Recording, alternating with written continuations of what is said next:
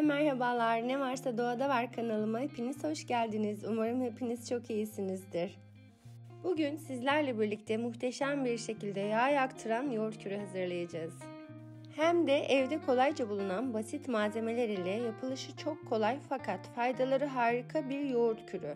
Özellikle göbek, sırt, bel ve kalçada toplanan o depo yağları en hızlı şekilde yaktıran mucizevi bir kür.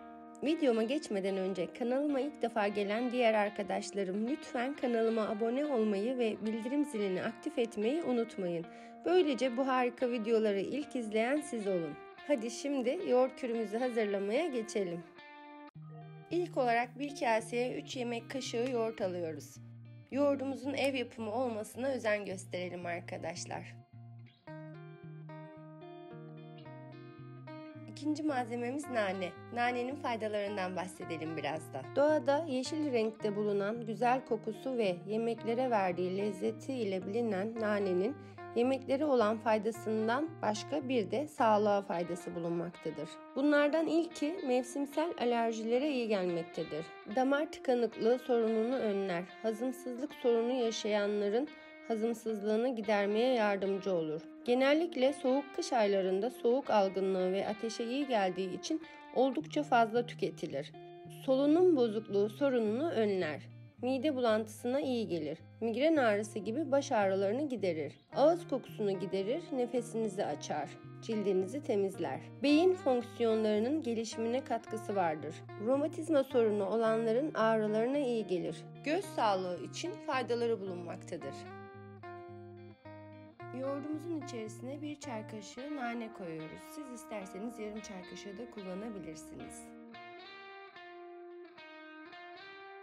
Üçüncü malzememiz pul biber. Biraz da pul biberin faydalarından bahsedelim. Kırmızı pul biber metabolizmayı hızlandırması sebebiyle kabızlık sorununu ve diğer bağırsak sorunlarını giderir. Bağırsak kurdu ve parazitlerine fayda sağlar. Kırmızı pul biber prostat ve akciğer dahil olmak üzere birçok kanseri önlemeye yardımcı olduğu gösterilen likopen bakımından en yüksek sebzelerden biridir. Acı kırmızı pul biberin metabolizmayı hızlandırarak yağ yakımının arttırdığı bilinmektedir.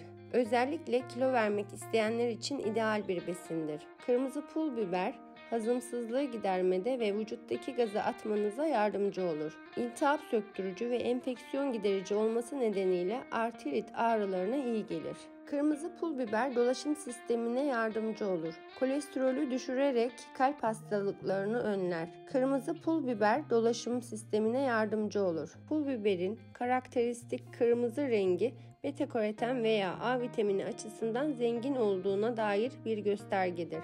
Kırmızı pul biber B16 vitamini ve folat bakımından harika bir kaynaktır ve hücreleri koruyarak yaşlanmayı geciktirir.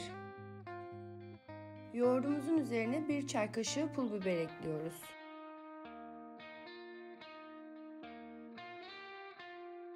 Dördüncü malzememiz kekik. Biraz da kekiğin faydalarından bahsedelim arkadaşlar. Kan basıncını düşürerek yüksek tansiyonu önler. Üst solunum yolları hastalıklarında fayda sağlar. Saç dökülmelerini engeller. Kolon kanserine karşı koruma sağlar. Göğüs ağrılarının hafiflemesine fayda sağlar. Egzama gibi cilt problemlerinin iyileşmesini sağlar. Ağız boşluğu kanserine yakalanma riskini azaltır meme kanserine neden olan hücrelerin yok edilmesine fayda sağlar. Regli sancılarını azaltır. Kırmızı kan hücreleri hasarlarını tamir etmede etkilidir. Öksürüğe fayda sağlar. Göz sağlığı bakımından oldukça faydalıdır. Akciğer kanserine yakalanma riskini azaltır. Kalbe giden kan akışını hızlandırır kemik sağlığının korunmasında etkilidir. Uykusuzluk sorununu giderir. Beyin hücrelerinin sağlığını korur. İçerdiği zengin demir oranı sayesinde kansızlığı giderir. Gaz sancılarını, şişkinliği ve kabızlığı giderir stresle mücadele eder ve yatıştırıcı etkiye sahiptir. Hafızaya olan olumlu etkileri sayesinde Alzheimer hastalığına yakalanma riskini azaltır. Yoğurdumuzun üzerine bir çay kaşığı da kekik ekliyoruz arkadaşlar.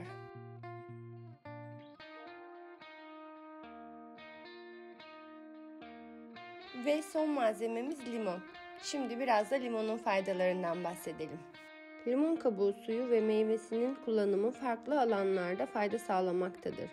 Bu faydaları şu şekilde sıralanabilir. Limon yüksek tansiyona iyi gelebilmektedir. Orta yaş grubu kadınlar ile yapılan bir çalışmada gün içerisinde daha çok limon veya limon suyu tüketen kadınlarda sistolik kan basıncının daha düşük olduğu ortaya konulmuştur. C vitamininden yüksek bir meyve olması sayesinde bağışıklık güçlendirme üzerinde oldukça etkilidir. İyi bir C vitamini kaynağı olması bağışıklığı güçlendirmenin yanı sıra romatizma, artrit, gut, yüksek kolesterol, damar sertliği ve yüksek ürik asit seviyesi üzerinde olumlu etkiler sağlamaktadır. İçerdiği C vitamini miktarı yetişkin bir bireyin günlük C vitamini ihtiyacının yarısından fazlasını karşılamaktadır. Ayrıca limonun ödem söktürücü etkisi de bulunmaktadır. Son olarak bütün malzemelerin üzerine yarım limon suyu sıkıyoruz.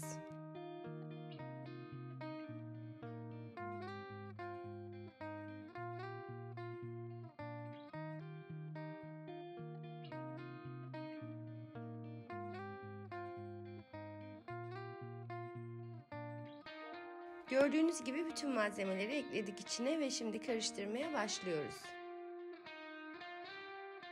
Bu kürü 15 gün boyunca her gece yatmadan yarım saat önce tüketeceğiz.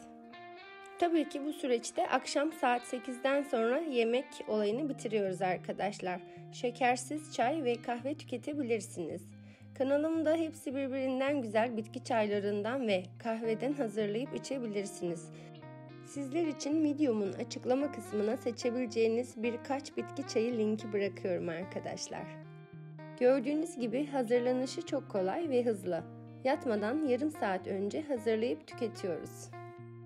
Bir ay boyunca yediklerinize dikkat ederek bu kürü düzenli olarak kullanırsanız ortalama 5 ila 10 kilo verebilirsiniz. Tabi bu arada ekmek, şeker, hamur işleri, tatlılar ve hazır paketli gıdaları hayatımızdan çıkartıp bol bol su içiyoruz ve günlük en az 20 dakika egzersiz ya da yürüyüş yapıyoruz ve bir ay sonrasında kendinizdeki değişime siz dahi inanamayacaksınız.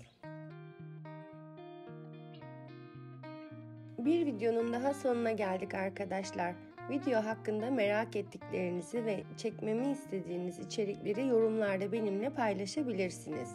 Videomu beğendiyseniz beğen butonuna tıklamayı, kanalıma abone olmayı ve yeni videolardan haberdar olmak için zil butonunu aktif etmeyi unutmayın. Bir sonraki videoda görüşmek üzere. Sizleri çok seviyorum. Hoşçakalın.